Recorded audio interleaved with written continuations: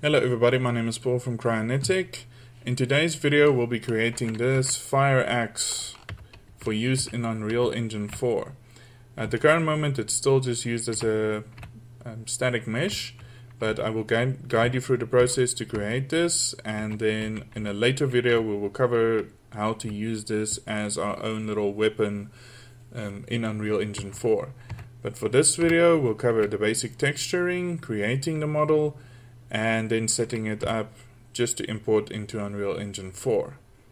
Alright, let's get started. So first thing I want to show you is just the references we'll be working off. This is a drawing I made myself in GIMP. This is a photograph I took of a door and this is also a photograph of a piece of metal I took. And we'll be using these three images to build our axe. So what you want to do, you want to jump over into Blender and use the side panel. If you don't see the panel, just push the N button on your keyboard. And here by background images, just check that and say add image. Then you click open and then just go to where your image is stored. I want to change the axis to only the right. I'm going to jump into the right view and then into graphic view and it's a little bit small. It's only 10 centimeters so we want to change that to 100 so it's exactly a meter. And there we go so we're going to close that and then we're going to start building. So first thing we want to add is we're going to add a circle. We're going to change the vertices to 12 and let's change the radius to 5 centimeters just so it's small enough so we can see it. I'm just going to split off this view and I'm going to jump into the front view here. Then back in this one, rotate 90 degrees and then you'll see what our circle looks like over there. Uh, but as you can see it's perfectly round, well not perfectly round, but it's round and uh, handle the axis normally uh, not this is more the diameter of a pipe. So we want to scale this. So it S and X, so it scales on the X axis and let's move it around about there. That looks about right. Then we're going to move this piece in this viewport all the way to the bottom here.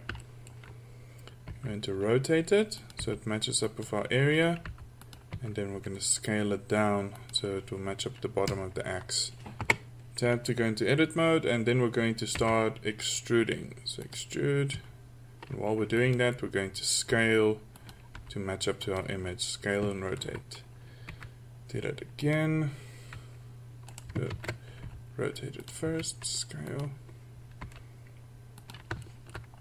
And then we're going to do this all the way to the top I like to keep the distances fairly equal um, just in case you want to add some more detail or just want to change it up a little bit. Then for this part we're going to scale but you want the bottom piece over here to be fairly straight with the, the rest of the model here. And that looks pretty good. Oops.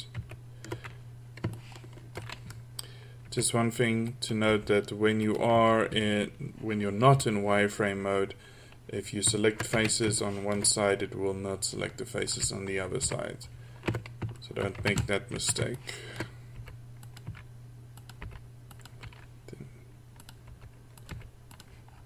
Okay, so that should be the handle of our axe done. Just going to hit smooth shading that looks pretty good. We just have to fill in this bottom face here. So holding Alt, oops, Alt and right click, click, push F, and there we go.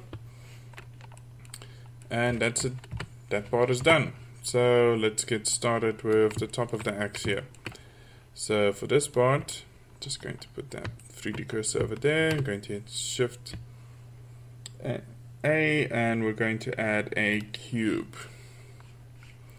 A little bit big. We're also going to change this radius down.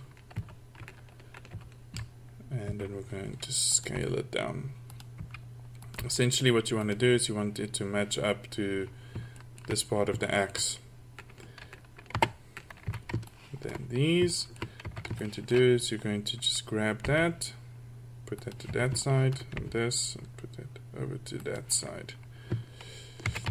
I think it might be best, let's rather do it like this. Take this piece up and we'll extrude from here. That way we don't get a strange pinching over there. There we go. Control R, we're going to add a loop cut over there. And I think we might have to add one more here and two more over there. And then you just kind of match up the vertices with your picture here.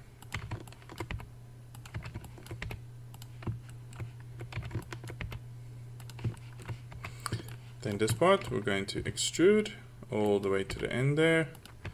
And then these you can just move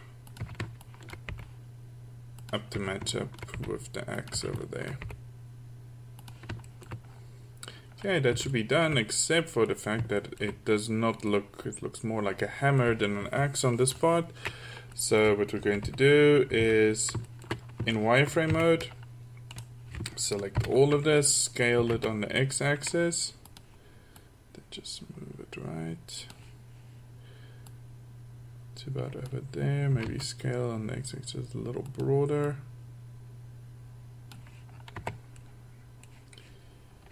You go, that looks a little bit better. But the front piece of the axe is normally very sharp, so we want to add, let's say, two loop cuts here. This one. We're going to take this one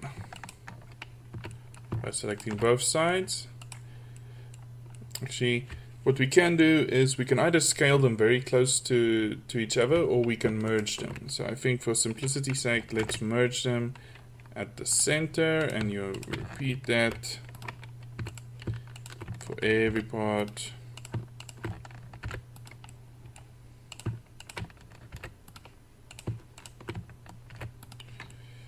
There we go, so you have a nice sharp piece. And then this part we're going to scale on the x-axis so it kind of matches up. And then I think this part as well, scale it in a little bit more.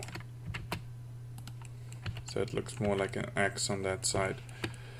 Then for over here, we want to take these. Also scale this on the x-axis. Oops, take those two scale.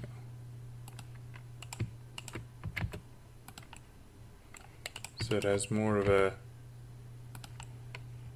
curve going there.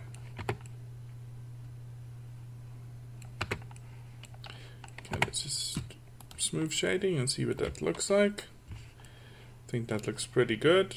So that's this part of the model done. So what we're going to do next is we're going to actually start UV unwrapping.